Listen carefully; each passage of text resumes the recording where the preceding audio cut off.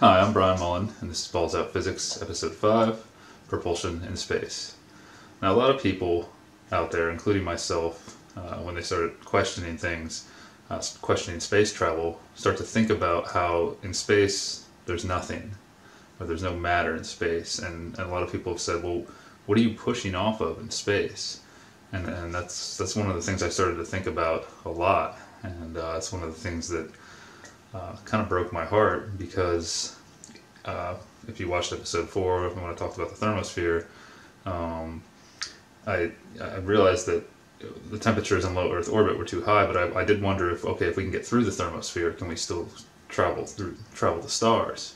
And but then I started to think about this idea of having nothing to push off of, and I realized that I don't think it's even possible to move in space if it's it is what mainstream science or mainstream astronomy believe that it is a vacuum. Uh, it, it, shouldn't. You start to think that there's, it shouldn't be possible to move, and and then, and I thought of Newton's third law, which says that basically says that every action has an equal and opposite reaction, and that's definitely true on Earth. If you push on something, it pushes back with the same force, or pushes back. It, it, it creates an equal and opposite reaction uh, if there's eventually it will. Um, you know, if you if, if you push on something that's not strong enough to resist your force, then you'll move, or it will move, until enough force is developed to res- uh, until enough reaction is developed to resist your force. So, for example, if I crouch and then push up on my on, on, on the bottom of my feet, push myself back up, that the reaction of the floor pushing back up is equal to the force of my feet pushing down. That's that's basically what Newton's third law says. Okay, so a lot of people say, well, in space, uh, how how how can you move when you've got nothing to push off of? And what we're told, what the, what the accepted uh, theory is that that if all you have to do is push mass away from you, and you'll move in space, and it, it kind of makes sense, but then but then the third Newton's third law comes back, and so there's a lot of circular reasoning for me trying to figure this out. Like, what am I missing? Because I didn't want to accept that you can't move in space, but I honestly don't think you can. But start with a jet engine on Earth. Now, on Earth, we have air all around us. It's a fluid, really, and uh, it's not that much different from from water uh, when you really start to think about it. Uh, gas and fluid, gas and liquid are are very very similar. They're both fluids, and so say this is a jet engine, a very crude drawing of a jet engine on a commercial airliner, and when I'm standing here, where you're standing at, at sea level, uh, the, the the, the, roughly the, the pressure on your body from the atmosphere, the weight of the atmosphere above you is roughly around 14.7 pounds per square inch or 101 kilopascals if you're using the metric system. And uh, so really what's creating that pressure is the weight of the of the air above you, all, I mean, all of the air above you. Uh, it's just like uh, the, the, best way to think about it is if you if you dive in a pool and you swim to the bottom, you can you can feel the pressure increase as you go lower and lower in the pool. That's because the weight of the water above you is increasing, and you really feel it in your ears. Uh, if you, if, especially if your ears are very sensitive, you go lower and lower, you go deeper and deeper. You go depending on how deep the pool is, you feel that pressure in your ears. It's the same thing in the air, just not as noticeable. And so, you know, as you rise in a pool, the pressure becomes less, and the same thing happens in our air. If you go up into the mountains, the pressure actually decreases, and you have to. And when uh, engineers are designing uh, things that are affected by pressure, uh, they do account for uh, altitude and, and how uh, how pressure changes. And at sea level, we use 14.7, and that's that's typically called one atmosphere of pressure. Okay. So a jet engine sitting here, say the engine sitting on the runway, is experiencing this pressure all around it, just like our bodies are. And that's that's one of the reasons it's theorized that you need a, a spacesuit in space. One of the reasons is because our bodies in space would expand because space has negative pressure. And so, and the, the, atmospheric pressure is what actually holds our bodies together on Earth. That's that's the theory. So, you have all this, call this the air pressure, this atmospheric pressure, if we want to call it that, or whatever, is acting on this engine from all sides. Okay, as it's sitting here on the runway. Just like it's acting on my body, it's acting on you, the viewer, everything. Okay? So there's pressure here. And that, is one ATM equals 14.7 psi. I'm going to use English units because that's what I'm used to. But I do think the metric system is better because, well, I think if you do believe that this world was designed, I think the designer gave us a hint on which system is better. Just easier for our heads, but each their own. So, okay, have an engine sitting here. It's off.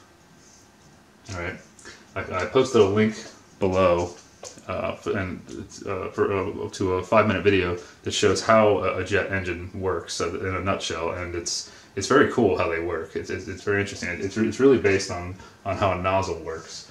Uh, so to give you an example, that you take a garden hose and you, you turn the hose on full, and water streams out of the end of the hose. But if you put your thumb over the end of the, the end of the hose and cover, say, half of it, the water sprays out much faster and the reason that happens, it sprays out faster and farther, is because you increase the energy, but the mass, the amount of mass flowing through stays the same. Think about it, behind your finger, there's still the same amount of mass, the same amount of water is flowing.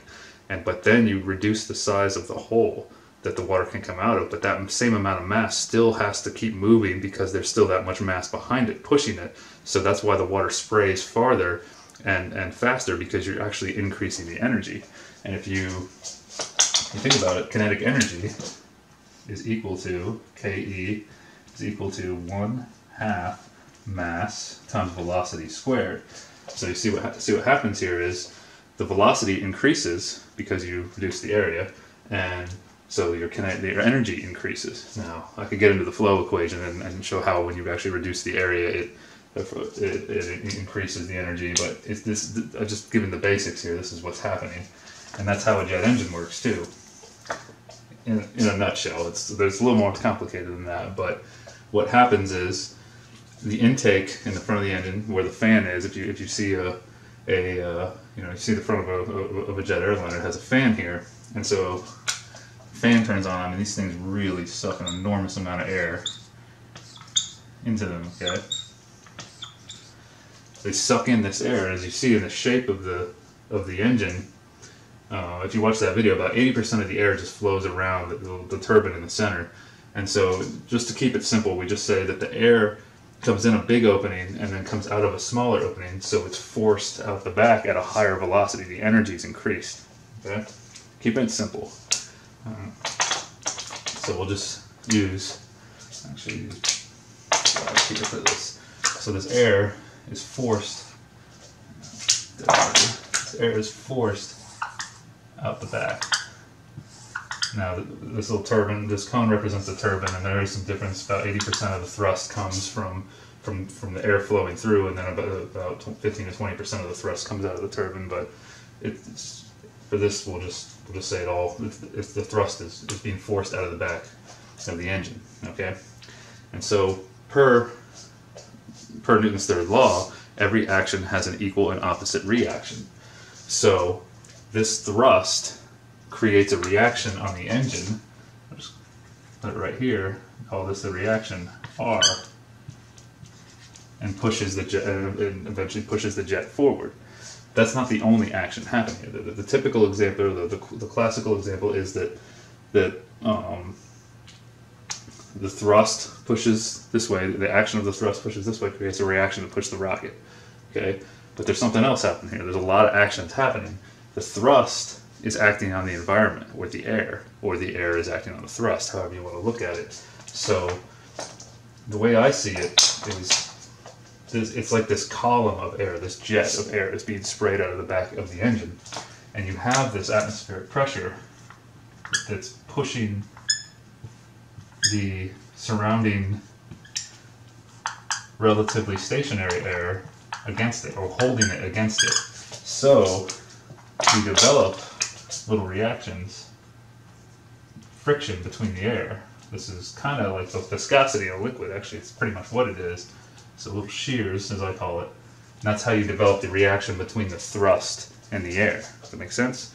So like the, the, the pressure holds the, the, the, the, the stationary air, relatively stationary air, against the thrust, and that creates friction, which creates a reaction against the thrust, which you know, basically you have to keep your you have to keep your action reaction going to move.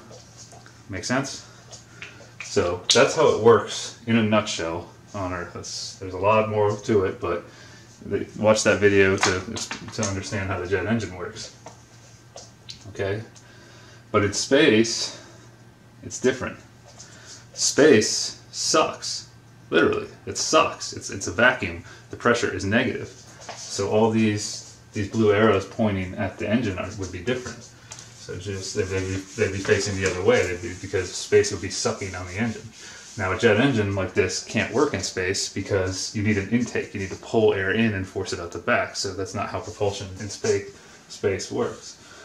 And when I was a kid, I grew up watching the space shuttle launches, and I was quite obsessed with it. I wanted to be an astronaut like every kid for a little while, and uh, I liked watching how it moved. I liked learning how it worked in space. And if you remember the space shuttle program, the way the space shuttle worked after after the launch, after it got into space, it had these little jets, has it had these little jets all over it that shot compressed oxygen out into space, and that was supposed to be the the, the mass moving, uh, the, the push of the mass away from the, the mass of the the oxygen away from the shuttle was supposed to be what controlled its movement and and gave it thrust when it needed to, you know, rolled whatever it needed to do. You know, little tss, tss, you see in the movies.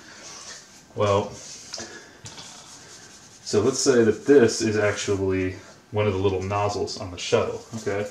And then we'll extend the nozzle over to the shuttle. Say the shuttle's over here somewhere. You know, this is just one of those little nozzles, tiny little nozzle that shoots compressed oxygen out into space, okay? And remember though, space sucks. So you have this pressure acting the other way. What that pressure is, is really not important because it sucks. That's all that matters. Um, I'm being so we have all this suction happening on the engine, and uh, on the engine and on the or not on the engine, on the nozzle, excuse me, and, it's pulling on here and say the nozzle's closed right now. This this nozzle isn't isn't active yet, and so you have this built-up compressed oxy oxygen inside the this this nozzle. And say there's a tank over here filled with compressed oxygen. And when they open the end of the nozzle, or the jet, whatever you want to call it, you have this suction force over here, and then I'll use red to show that the very high pressure oxygen wants to spray out into space.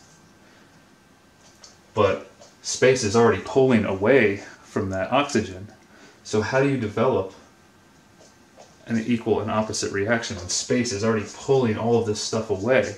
It's, it, it's sucking, it's pulling. So this opens, and there's compressed, built up oxygen in here, and oxygen is actually pushing on the wall of the nozzle and the tank that it's in.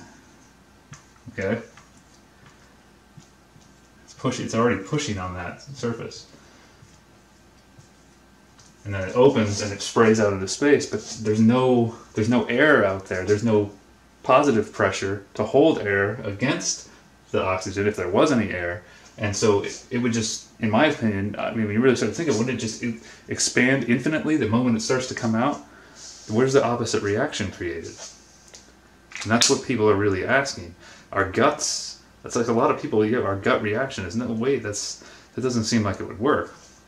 And so this question is discussed. I actually have a friend who took a, uh, a propulsion class. I'm not really, I can't remember what the class was was, was called. He, he took a, it was an online class. It was free from a very well respected university. I won't mention it. Well, it was MIT, but uh, um, they, they they offer free courses, and he told me that uh, in in the course that to, to to answer this question, what they do is they show they show a, a, the professor has a video of himself standing on a skateboard and he, he took some weights and throws them away, throws the weights away from him, and he moved back the other way.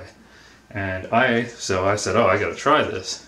And so I took my, my old, I had an old skateboard, and uh, I went out into the garage and I started throwing weights away from me, and I, and I didn't move. And I was like, they can't lie about something like that. That would be people would test that eventually, right? Come on. And so I may have said this in the past that I didn't move on the skateboard. So I had the skateboard had really old wheels on it, and these are the wheels that used to be on it. You can see the bearings are kind of rusty, and so I decided I really need to do this right. So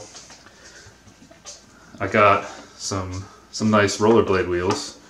Uh, when I was a kid, it was considered lame to put rollerblade wheels on your skateboard, but I kind of sucked at skating, so I just liked going fast. And this skateboard is the design here. My, my idea here is for this thing to only go straight. You see, if I try to turn, the board will hit the, the rollerblade. But so I, I made I got some new bearings. You know, wheels spin really well, and I set up a, a a trap or something to catch stuff as I threw it away from me. And I stood on the skateboard and started throwing mass away from me. Well, I took a cinder block or a CMU block and threw it away from me, and sure enough, I moved backwards pretty significantly. So I was like, okay, that works. But is that the same thing? Well, it took me a while to wrap my head around. Like, I still, where's the equal and opposite reaction? And is this the same thing? And I don't think it is. And here's why. Best way to think about it, let's start with a bullet. Okay, here's a bullet. All right. With a bullet, you have a brass casing, and you have this is actually considered the bullet, and this is the the, the casing, the cartridge, right? The, the, the, the brass casing, and here's the, this right here is the joint between the two of them. Okay, and on the back you have a primer, this little circle here, and the firing pin strikes the primer and ignites the gunpowder within the, the bullet, uh, within the cartridge, and the gunpowder the the gunpowder explodes and it pushes in all directions. But since this bullet, since there's a, there's a seal here, and, it, and this is considered this is the weakest point between these two masses, the bullet flies one way and the casing tries to fly back the other way. If you've ever shot a gun before, if you're holding the rifle against your shoulder, you know you get a kickback, but the smaller mass of the bullet, the bullet's mass is much smaller than you, the rifle, and the and the, and the casing, so the bullet flies away from you. And so uh, one of the you know, when, when, people ask this question, when I asked this question, one of the things I got was, well, if you put a if you put a bullet in a vacuum chamber or in space, and you you know, in your, or a gun, and you were able to strike the primer, and there was you know oxygen contained, and say the bullet was completely sealed, uh, it would the the bullet and the gun would fly away from each other. I said, yeah, it would because you have two masses with an action happening between them, so you get two reactions there. Does that make sense? And so I started thinking about that, and I said, well, a skateboard's the same thing, really, as the bullet. The action is our is my arms or the professor's arms pushing on that mass, and the reaction is occurring between the action of your arms on you and and the uh, or on me and the and the and the CMU block or the or the tire that I threw or whatever or the weights whatever you throw you actually create two reactions there okay? There's an action between them. But here it's not the same. Before in my opinion it's not the same. Before the shuttle leaves the earth they fill the, the, the oxygen containers uh, w- with oxygen and, and, and, nozzles and everything with oxygen, and it becomes pressurized. Hot, you know, the, the, the oxygen is forced into the container, and the, the oxygen expands. High pressure pushes on the outside of the container, and then the container pushes back against these little pressures that I show here. The container pushes back, so the action and reaction has already occurred. Okay? And it's just waiting there. And this is now potential energy waiting to, waiting to be released. So the action and reaction has already occurred. This isn't the same thing as somebody standing on a skateboard and throwing something away from him or a bullet. It's not the same, in my opinion. I mean, really think about it. You, you, you see what I'm saying here? You need you need two masses with an action happening between them to move in space. On Earth, this nozzle would spray against the air, and you would get an, a, an equal and opposite reaction because there's positive pressure on Earth and there's air. In space, there's not. It's completely the opposite. It's just like it's, it's very similar to the jet engine on Earth, except you don't have the intake. You just have compressed oxygen spraying out against the air.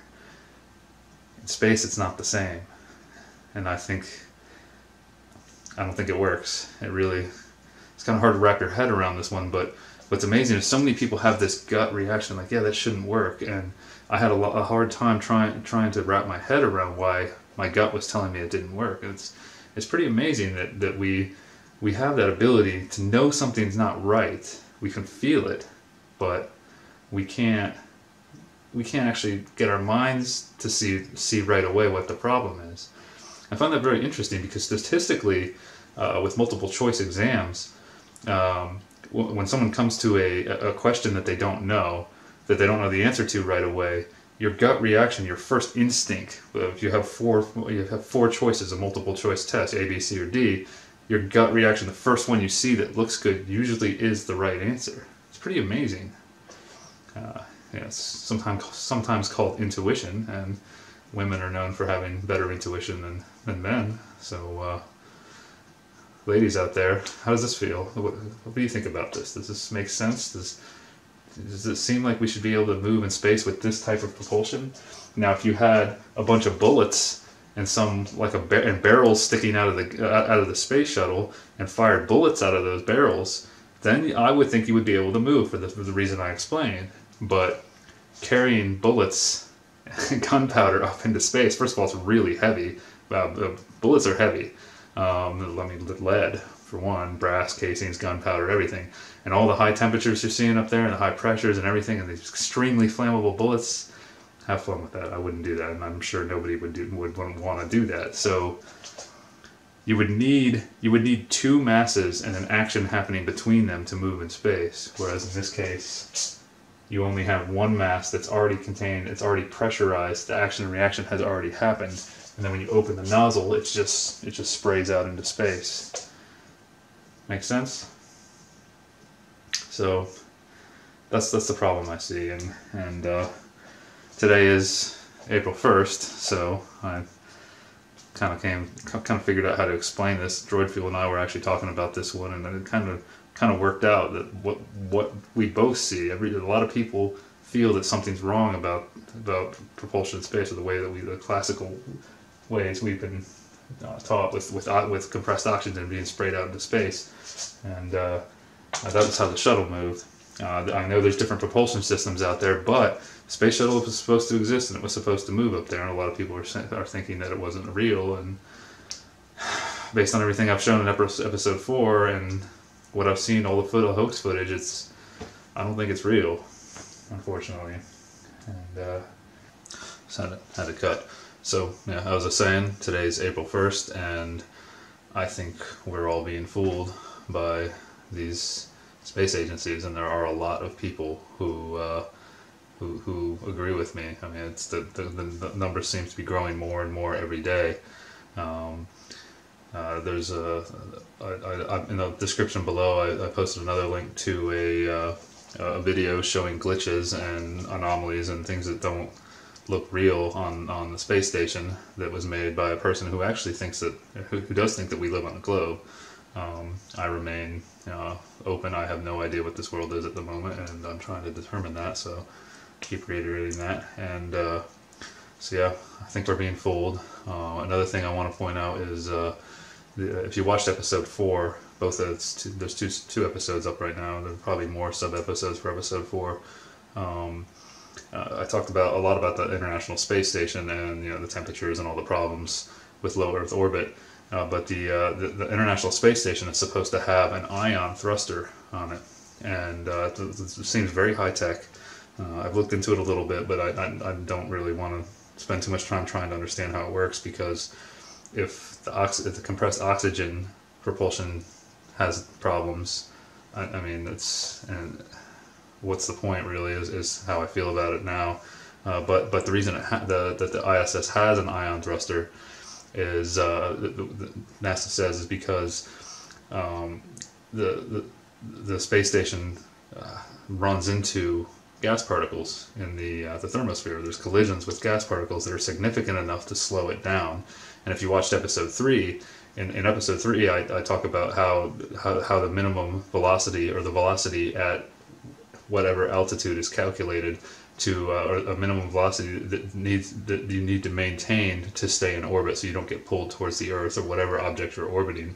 And so the, the space station has to maintain that minimum velocity or it will get pulled towards Earth. If it increases the velocity, then uh, based on the heliocentric model and, and uh, our gravity equations, then it would then it would, it would it would move farther away from Earth. So so they, they, they have to activate the thruster every three, six months, I don't remember what it is, due to collisions with these gas particles.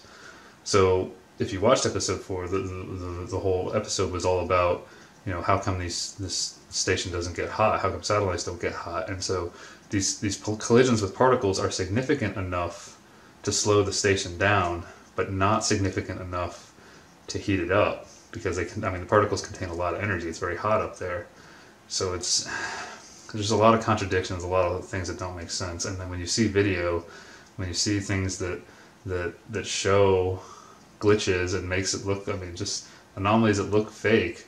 Uh, I mean, pay, pay, close attention. That video, the first time I watched the video I posted down below, I, was, I didn't really see a whole lot, and then I really started paying attention to what the, the, the video creator was actually trying to show. I said, "Wow, yeah, there's things that it doesn't really, it does look fake, like it's been faked or it's pieced together, or you know, like they're in a pool." So. Uh, I'll let you be the judge of that. I'm not telling you what to believe. Like I said, this is my opinion, but there are people out there who agree with me. It's a lot of people are agreeing with me, and uh, I'm agreeing with others who are doing work like this. So, uh, so we need some answers, and uh, you know, like we're paying for all this stuff, and when still only 553 people have been to space, so uh, you know, we need to stop paying to be fooled.